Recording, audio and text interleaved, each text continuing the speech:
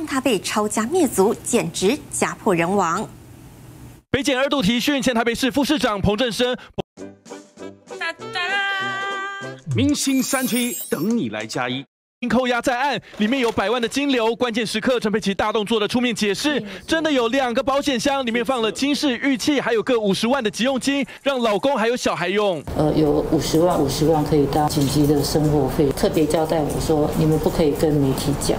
那我不晓得今天你们媒体得知了。陈佩琪自曝至少有一千六百二十八万元的金流，他解释分别来自遗产五百三十五万、一生存款，还有选举结余款以及演讲红包等等。但各界质疑，为何在金华城容积率拍板后？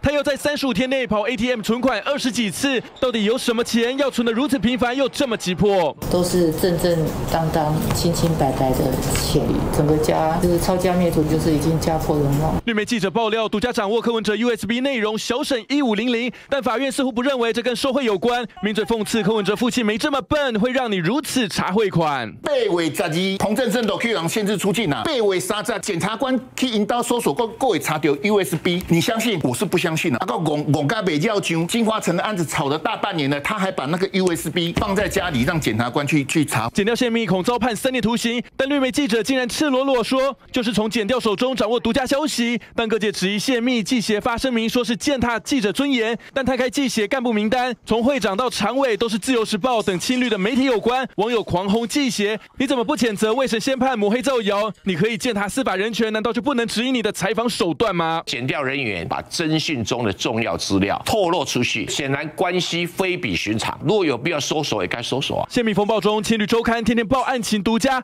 名嘴炮轰，从捧高端到专报这档的弊案，是不是仗着自己背后有靠山？我就请问金周刊，你写的这么多马英九的三中写的这么许多徐巧芯的弊案，你在 COVID 那天期间报道的这么多高端的新闻，我请问金周刊，我请问裴伟，哪一条是真的？哪一条是真的啊？导播没有特写吗？哪一条是真的啊？一条是真的就好了，只要一条是真的。徐小新就进去了，你只要一条是真的，马英九就死了。马英九、徐小新高端，你《金周刊》写了几条，写了几次？那为什么徐小新还在当立委呢？有人抨击剪掉泄密，绿媒乱报；另一边陈佩琪和民众党也挨轰，挑特定的媒体放消息。诡异的是，柯文哲的儿子在爸爸被被羁押时，却剖自己在纽约吃牛排大餐。陈佩琪如今的眼泪，不知道来自哪一种五味杂陈。记者张哲明、王志恒，SNG 小。